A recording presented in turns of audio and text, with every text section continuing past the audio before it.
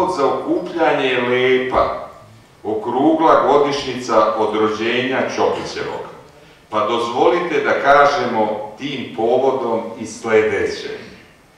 Godišnjice su obično podstrek za veće akcije, krupnije poduhvate i ambicioznije planove. One su usto povod za sumiranje dosadašnjih rezultata i prikazivanje tih rezultata široj javnosti.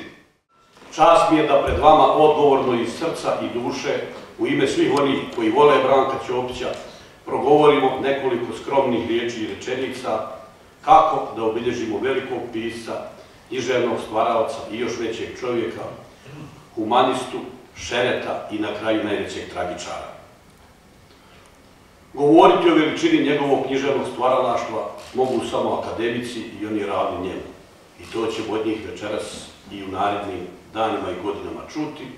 Ja niti umijem, niti smijem, niti znam šta bi rekao za književnika koji je preveden na 40 svjetskih jezika.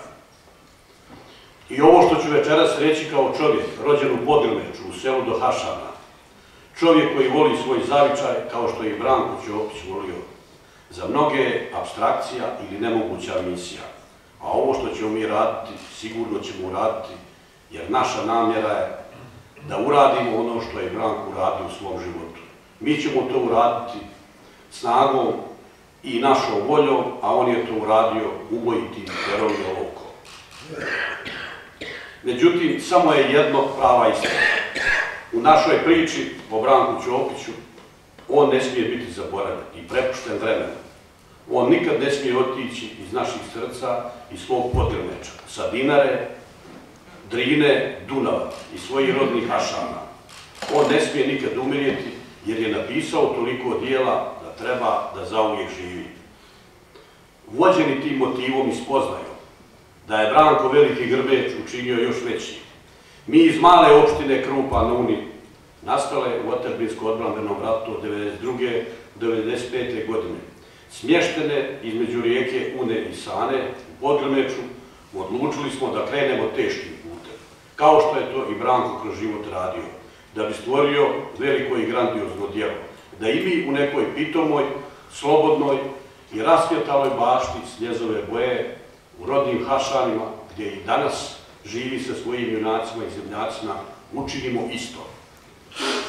Obavezni smo svi mi sa desne i lijeve strane Drine, iz dijaspora i sa svih meridijana, da u ime 22.000 Srba sa prostora Podgrmeča, koji su u ratu 41. 45. godine mučki ubijeni, u ime 27 potpuno uništenih srpskih sela i grobalja, u ime 500 ubijeni 11.000 protjeranih Srba u vreme Otažinskog-Vjerskog, građanskog rata 92. 95. i u ime 18 uništenih podgrmečkih sela. I danas u ime 2500 preostalih Srba u Podgrmeču, u ime pravoslavlja, srpske kulture, istorije, tradicije i ćirilice, u ime zapadne srpske granice, koja se više ne smije pomjerati ka Drini, u ime dijela i imena rodnog kraja Branka Ćopića, u ime onih koji se vratili na svoja ognjišta, koji žele da ostanu žive i čuvaju uspomenu, svoja groblja i vjeru, da izgradimo spomen područje bašta Sljezove boje, kako ne bi zaboravili prošlost, sačuvali sadašnjost i spremno, dostojanstveno i patriotski zakoračili budućnost. Zbog svega ovog što reče, pozivam vas i molim vas, iz Matice Srbije, dijaspore i rasejanja, na pripadnost rodu svom, na razum i okolnosti, zbog kojih žive i opstaju i vode brigu za buduće generacije oni koji ostaše tamo, da i danas u tom okruženju čuvaju spomen na dijelo svoga branka. I mi smo obavežni da u tom pravcu radimo i da djelujemo i da ga vratimo tamo i da od toga mjesta napravimo baštu sljezove boje. Kad ovo govorim, u ušima mi još odzvanjaju riječi episkopa Bihaćko-Petrovačkog, Atanasije Rakite, koji ljetos u Driniću reče ni veće eparhije, ni manje srpskog naroda, nego ovdje u krajini i na ovim prostorima. Ovo je poruka na kojom se svi mi zajedno moramo zabrinuti, ali odlučno krenuti u borbu za povratak ili bar opstanak Srba koji hoće i žele da žive na dosta opustelim prostorima Brankove Podgorine. Zbog prošlosti, u, u sadašnjosti, za budućnost želimo, hoćemo i moramo zauvijek dostojanstveno i na najbolji način oteti ime i dijelo Branka Ćopića od zaborava. Vratiti velikog pisa tamo gdje mu je i mjesto, u njegove hašane, među njegove hašance, među njegove harambaše, poljare, mlinare, prelđije, ratnike golubijeg srca, njegovu podgorinu koja se nadvila nad hašanima i rijekom Jablom. Ispuniti zavjet prema prošlosti, sadašnjost učiniti srećnijom, a budućnost tih ljudi tamo sigurnijom i svjetlijom. Na kraju ja sam siguran da mi to svi želimo, hoćemo i možemo, a onda nema prepreka da obilježimo ime i dijelo Branka Ćopića u Hašanima, onako kako je i zaslužio, kako mi to znamo i umijemo, i da se svi zajedno od njegove podgorine napravimo baštu sljezove boje u koji će svi rado dolaziti. S u Maticu, Srbiju, dijasporu i sve ljude dobre volje, snažno i zdušno obilježimo 2015. godinu godinu Branka Ćopića. Hvala vam na posjeti i podršci i ja sam siguran uspjeh.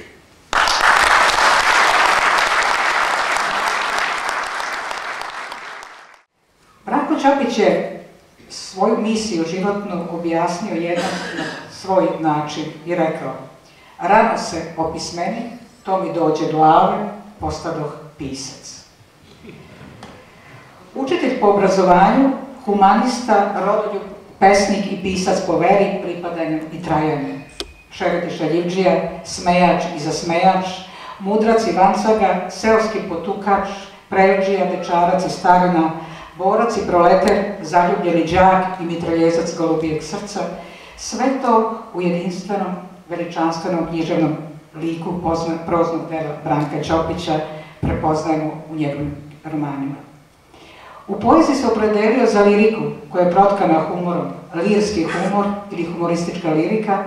Humor je uopšte bio najmoćnije oružje i najznačajnije oružje kojim je Branko Ćopić ratovao sa životom i svetom, ali gradio isti taj život i svet. Humor je za njega bio kao dah i kao sam život.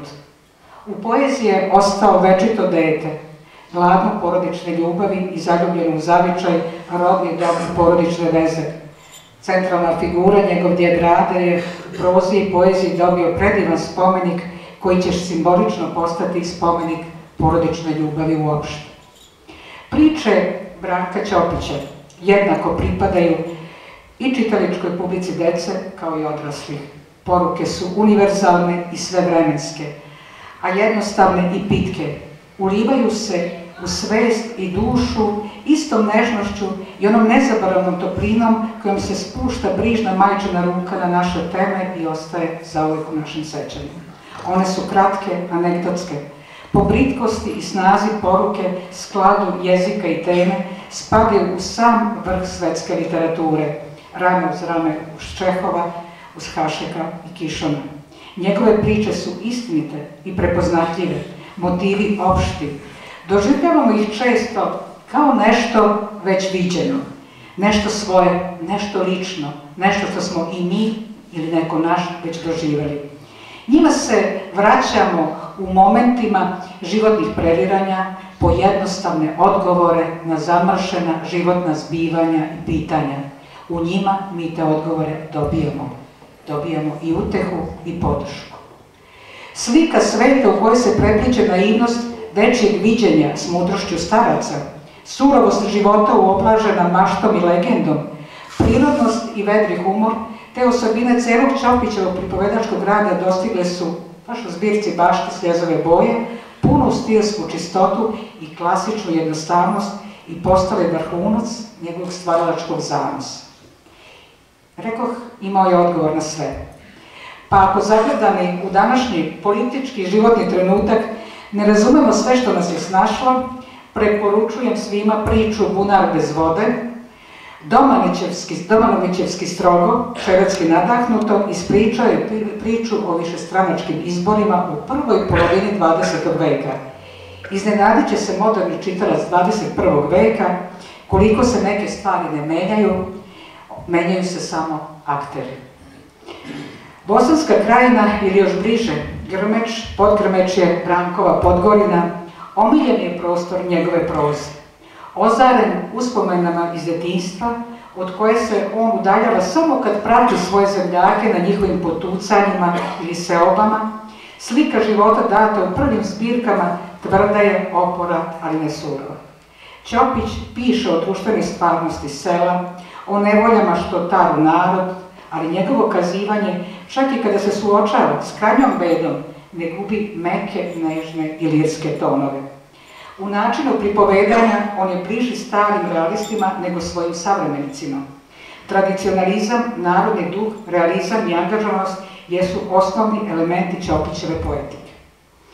Premda je živeo u epohi velikih književnih promjena i čestih oscilacija između tradicionalnog i modernog, Ćopić se u biti malo menjao. Ostao je do kraja privržen svom angažovanom narodnom realizmu. Kao takav, on je više od pisaca poniklih u krilu socijalne literature bio predodređen da izrazi narodsku, seljačku, epsku stranu naše revolucije. Čak u to vreme ličio je više na nekog pesnika iz nekog srednjovekovnog doba, na nekog slepog uslana koji želi uz narodnu pesmu na taj način da ostavi sećanje. I upravo jedna od pesama koja je takav trag ostavio u književnosti i u poeziji uopšte je pesma na Petrovačkoj cesti. Jedna od tema koje su predstavljale njegov lični nepregovor kao ratnika i kao rodoljuba je svakako bila istina o postojanju podela unutar njegovog naroda u najtežim vremenima. I to je opisao u prolomu i gluvom barutu. Kolonizacija kao ozbiljan nacionalni lom i nacionalna frustracija opisana je u romanima Osma ofanziva i Ne tugu i bronzana straža. Njegovi stvarni likovi, zemljaci, krajišnici, mučenici i heroji istovremeno ovih posleratnih događanja dobili su besmrtno mesto i nezaborav u svetskoj literaturi kroz ova njegova dela. Tkajući šarenim činim rečima o svom zavičaju, Branko Ćopić je na kulturnu mapu sveta upisao Grmeć, Podgrmeć, Hašan, Unu, istom onom poetskom snagom kao što je to učinio Tolstoj, Moskvi i Petrogradu. Etika koju je svojim književnim delom zaveštao Branko pokolenjima jeste etika i moralni kodeks na koje može da se uspostavi jedan humani svet i da se na njegove principe oslovi Vasiona. Zato je Branko Ćopić prepoznat i preveden na skoro 40 jezika. Zato je on postao pisac sveta. Želim da se ovdje podsjetim na jedan poseban trenutak prispitivanja smisla i postojanja u delima života Branka Ćopića, koje on na svoj način izrekao u svom pismu prijatelju Zivi Zdareviću. I to pismo koje je nastalo 70. godine objašnjava sve ono što ćemo mi pokušavati da kažemo, objasnimo, a treba samo da se vratimo ovim rečima. I Branko je tu objasnio i sebe i svet u kom se zatekao i koji je zatekao njega. Dragi moj Zio, znam da pišem pismo koje ne može stići svom adresantu, ali se tješim time da će ga pročitati bar onaj koji voli, koji voli nas obojicu. Kasna je noć i meni se ne spava, u ovo gluho doba razgovora se samo sa duhovima i uspomenama. A ja evo razmišljam o zlatnoj paučini i srebrnoj magli tvojih priča i o strašnom kraju koji te je zadesio u logoru Jasenovac. Pišem, dragi moj Zio, a nisam siguran da i mene jednom ne čeka sličan kraj. U ovome svijetu po kome još putuje kuga s kosom. U svojim noćima se najviše mjesečine ti si naslutio tu apokaliptičnu nema s kosom smrti i progovorio si o njoj kroz usta svoga junaka Brke. Jednog dana ti si je video, realno, ovo zemaljsko, ostvario se tvoj strašan san. Tih istih godina ja sam slučajem izbjegao tvoju sudbinu, ali evo, ima neka doba kako me za mojim radnim stolom osvoji crna slutnja, vidim neku noć prohladnu, sa zvijezdama od leda kroz koju me odvode ne znam kud. Ko su ti tamni dželati u ljudskom liku? Jesu li slični onima koji su tebe odveli? Ili braća onih kojima je otišao Goran, zato nisu tamni Kikićeve ubice? Kako li smo nekada zajedno vječački, lirski, zaneseni tugovali nad pjesnikom Gasijom Lorkom i zamišljali ono praskozore kad ga odvode bespovratno pustim ulicama Granade. Bio sam skorih dana u Granadi, gledao s brijega osunčan kamenit lavirint njenih ulica i pitao se na koju su ga stranu odveli. Opet je tada bio pored mene, sasvim blizu. I ne znam koji od nas dvojice šaputao Lorkine riječi pune jeze. Crni su im konji, crne potkovice. Umnožavaju se po svijetu crni konji i crni konjanici, noćni i dnevni vampiri, a ja sjedim nad svojim rukopisima i pričam o jednoj bašti sljezove boje, o dobrim stavcima i zanesenim dječacima, Vjura se, u dim rata i nalazim surove bojovnike golubijeg srca. Prije nego što me odvedu, žurim da ispričam bajku o ljudima. Njene su mi sjene posijali u srcu još u djetinstvu i ono brzo, bez prestanka nič cvijeta i obnavlja se. Pržile su ga mnoge strahote kroz koje sam prolazio, ali korijen je ostajao, životvoran i neuništiv. I pod sunce ponovo isturio svoju nejačku zelenu klicu, svoj barjak. Ruši se na njega oklop tenkova i štitio ga i sačuvao prijateljski povijet ljudski dim. Eto, o tome bi zio da šapćem i pišem svoju bajku. Ti bi najbolje znao da ništa nisam izmislio, da su u ovom poslu ne može izmišljati, a pogotovo ne dobri ljudi i sveti bojovnici. Nažalost, one druge nisam izmaštao mrke ubice s ljudskim licem. O njima ne mogu i ne volim da pričam. Osjećam samo kako se umnožavaju i rote u ovom stješnjem svijetu, slutim ih po hladnoj jezi kojim je prethodnica još malo čini mi se pa će zakucati na vrata. Neka ziva, svako se brani svojim oružjem, a još uvijek nije iskovana sablja koja može sjeći naše mjesečine, nasmijane zore i tužne sutone. Zbogom, dragi moj, možda je nekom smiješna starinska odora, pradedevsko koplje i ubogo pljuse, koje ne obećava Bog zna kakvu trku, ali ja, šta ćeš? Branko. Branko Čopić je pisac koji se može prepisivati na lekarski recept. Može biti uz njegova knjiga može biti uz vaše uzglavlje kao lek. Za buđenje i za san. Za lakši san i za trezvenije buđenje. I tako ga preporučujem kao profesor svima. A kad govorimo o nezaboravu i sećanju, onda je dovoljno da nas vidimo ovdje i da znamo da je Branko sigurno da živi u sećanju, a što je rekao Njegoš blago onom kod ovijek živi, imao se rašta i roditi. I da bih potvrdila samo onu priču o tome koliko je Lekovit Čopić, evo pomoći će mi moj prijatelj Tomo Kuruzović, iskazavši jednu od njegovih posljednjih i najljepših pesama, koja će vas sigurno ostaviti potrebu da već sutra pročitate još nešto od Branka Ćopića što ste ranije pročitali, znali, ali da vas osveži. Hvala vam.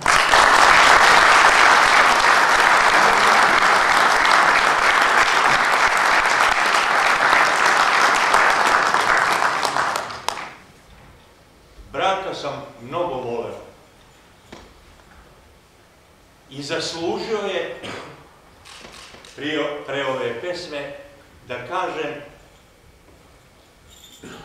kad bi Branko nekim čudom bio ovdje i čuo ili video, saznao ovo šta se događa, sve mislim šta bi rekao.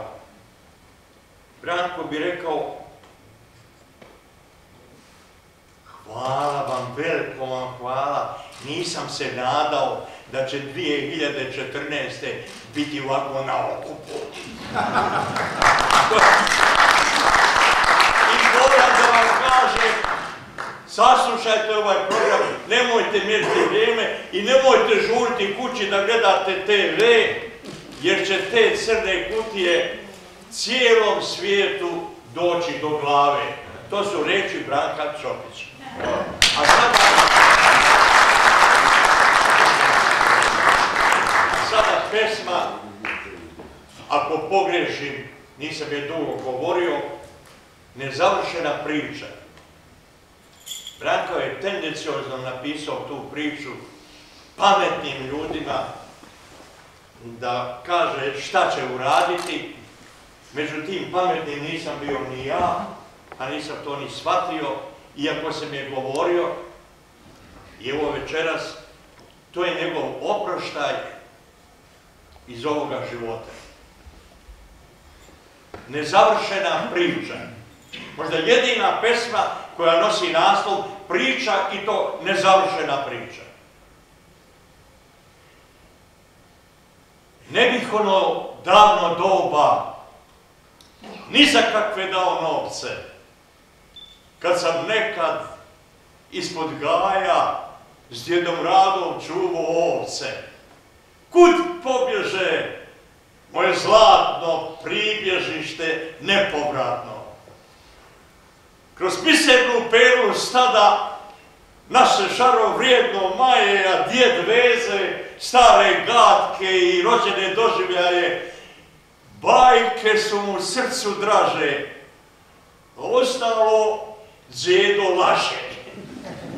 Kad ponekad nebom krene, mrki oblak, bljesne munjom, skrovišta trkom tražem pod starčevim crnim gunjom, ni u zečoj logi nije sigurnije i toplije. Odveli me davno puti, tamo gdje se bajka skriva. Stado nam se istopilo pod mogilom djed počiva. Kuda dalje, djede mili, puti mi se zamrsili i dokle ću u lutanju po svijetu da se mlatim, slutim, već je došlo vrijeme džedu svome da se vratim. Džedo, dragi zaštitniče, završi mi kraj od priče.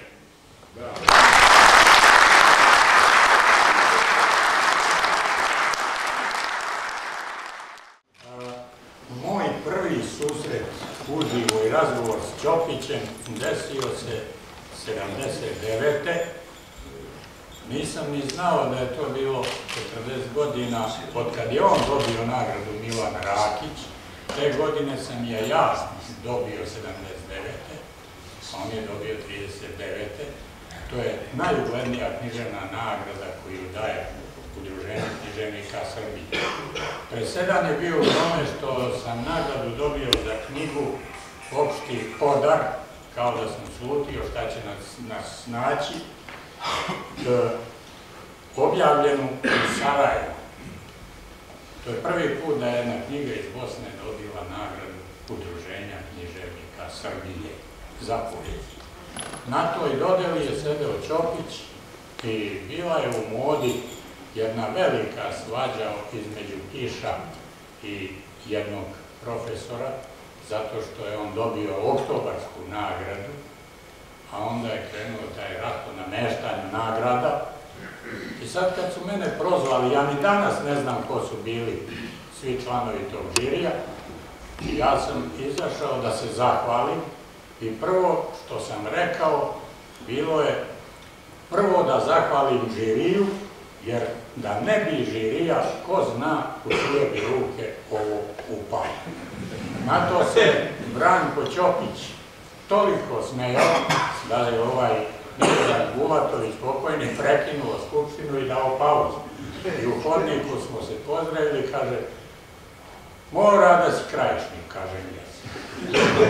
E, moja su ti vrata otvorena i dao mi je na papiru telefonski broj. Posle smo se naravno još viđali i znajući njegov ceo put, njegov delo i njegov kralj, E, nikad mi nije iz glave izbijao jedan njegov naslov koji se zove Gorki med. Takav je on i takav izgleda i ceo njegov život. Utoliko ću vam reći ovaj, dve pesme. E, zbog njegovih uskoka i gajduka i porekla ima ovdje jedna pesma koja se zove Uskočka pesma. Sve češće ste u mojim ranama, krajišnici, o vaša strahota. Mene nosi božanska pomama, zla sudbina vašega života. U detinstvu nisam mnogo znao, a nemir je bio mnogo veći. Nesvesno sam na vas podsjećao i hteo se baš toga odreći. Sad zračite kao drage gatke, kao vino ko hleb svakodnevni vaše muke, o kako su slatke, kako svetle i pristaju mene. Prve reči koje izgovaram sazdane su od vašega lika, ja ne gradim, ja sebe razaram, ja sam ropac posle. Vas će biti i nad mojim grobom, vas će biti kad mi zvezde zađu, kad napokon raščistim sa sobom, po vama će moći da me nađu. I još jedan detalj.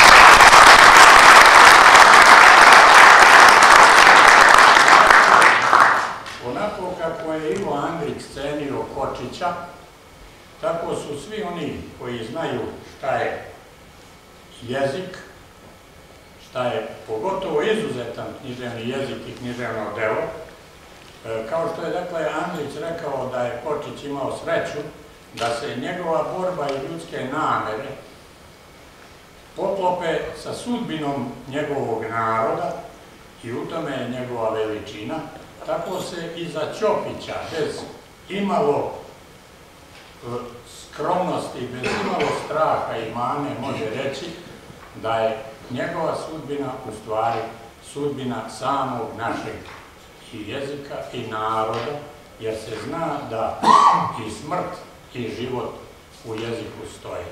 Po meni Ćopić spada u onu vrstu pesnika koji se mogu zvati pesnici, uskličnici.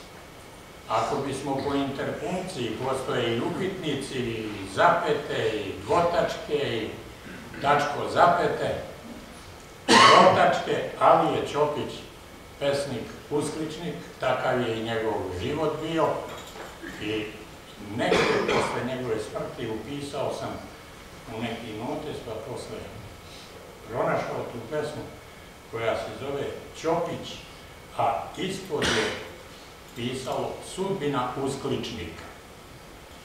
Sve dok sam vukao vertikalu strasnu, ni sanjao nisam da mi nervi gasnu. Prosto nisam znao, nisam hteo znati da će svetlu vere, vere ponestati. Noću su me stalno podsjećale more, da crtu ne vučem od ozdo nagore. Vuče li od sebe ljudsko biće živo, zna da će mu krava izaći na krivo. Dok sam se mučio s tom uspravnom crtom, vukli su me zemljom kao gosta vrtom. Čim bi moja ruka pokrenula dole, našle bi se uze da pokret privole. Kad postade krvi, tek da stavim tačku, na mene su hteli košulju ludačku. Vi zovite pladom, to je meni dublje, baš je zato tačka stavljena grublje, jer nije po redu, nije iz blizine, strmoglav je pala crna iz visine.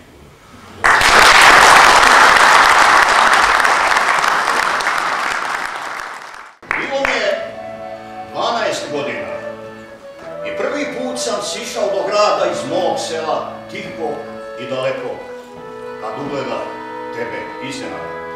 Ec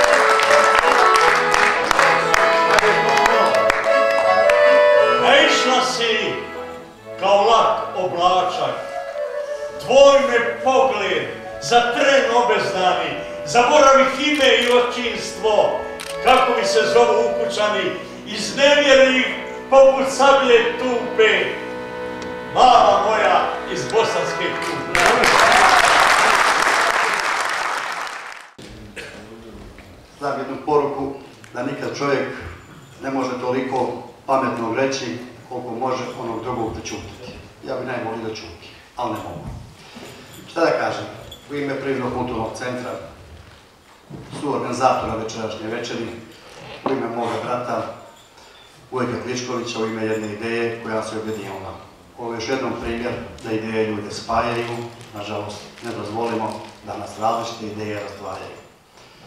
Večeras je ovdje bio zaista na širok srpski korpus. Večeras nije bilo, nego naprotiv bilo. Svi smo bili zajedno, i krajišnici, i hercegovci, ozrenci, romanejci i Srbija cijela. Dosta nam je specijalni veza. Mi se moramo govoriti ovakvim vezama, vezama konkretnog života.